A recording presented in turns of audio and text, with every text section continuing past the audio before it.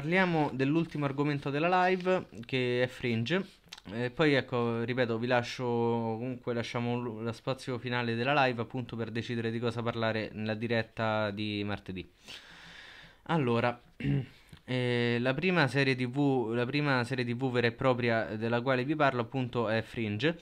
È una serie TV di genere fantascientifico, dispotico e d'azione, composta da 5 stagioni, è andata in onda dal 2008 al 2013 e creata da J.J. Abrams, Roberto Orci e Alex Kurzman.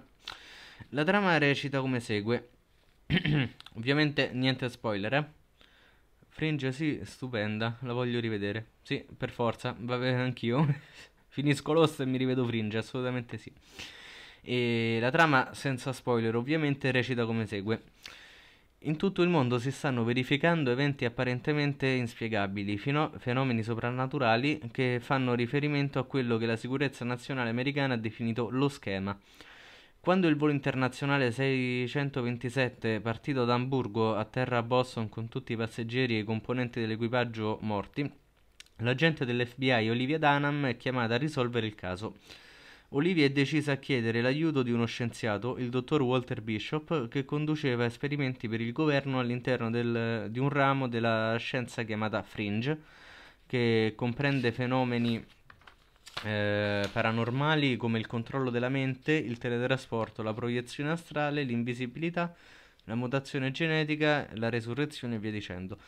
Eh, finché questo um, conduceva il dottor Bishop conduceva questi esperimenti fin quando, finché in, in, seguito ad un incidente di laboratorio eh, appunto Walter fu dichiarato mentalmente instabile e rinchiuso in un ospedale psichiatrico. Olivia si dirige in Iraq per recuperare Peter Bishop, figlio di Walter e suo unico parente, quindi l'unico in grado di firmare le carte per, farlo, per, farlo, per far uscire Walter dall'ospedale.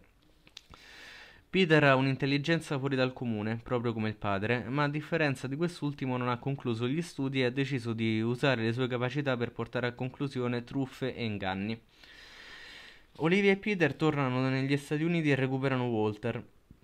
I tre cominciano ad indagare sullo schema e man mano eh, si verrà a capire che non, so, eh, che non, sono eventi casuali ma di veri, di veri e propri attacchi bio, di bioterrorismo precisi e ben studiati. Nasce quindi ufficialmente la, di, la divisione Fringe, capitanata da Philip Broyles, noto agente della sicurezza nazionale già impegnato in indagini sullo schema.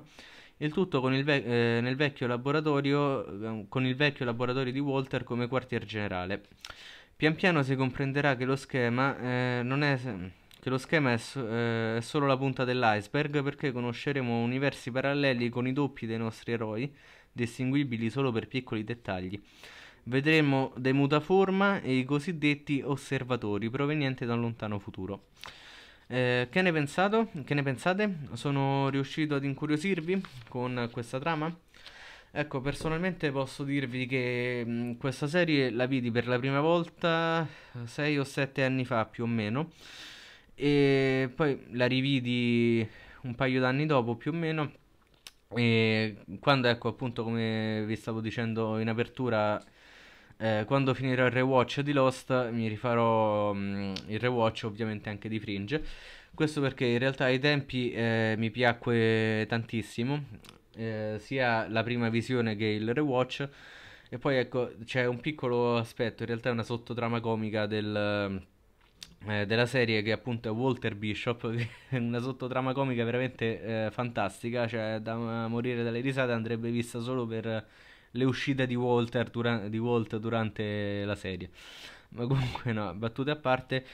Ehm, una serie ver- fatta veramente veramente bene, molto molto interessante che affronta temi eh, molto, eh, molto interessanti appunto come vi dicevo prima, proprio i viaggi astrali ehm, la resurrezione e via dicendo. E poi ecco, come in realtà mi sono fatto un'idea, eh, che è quella che quando c'è di mezzo JJ Abrams, eh, si tratta di un prodotto di altissimo livello, eh, molto, mh, mm, molto interessante, di altissimo livello, che è molto complesso, soprattutto eh, nel finale ma che comunque merita di essere visionato, e, mm, così come Lost, appunto, perché Abrams è anche il produttore di, esecutivo di Lost.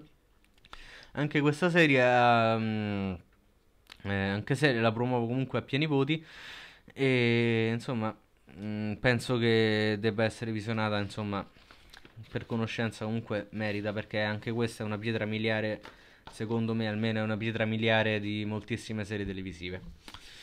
Pensieri, opinioni... Mh, mm, eh, non so, condivisioni di idee, qualcuno ha già visto Lost e mm, se la ricorda bene, se la ri- vuole esprimere un pensiero, se la ricorda un po' meno bene, se la vuole vedere. Vediamo un po', eh. Ho visto un commento. Stupendo il personaggio di Walter, faccine che ridono.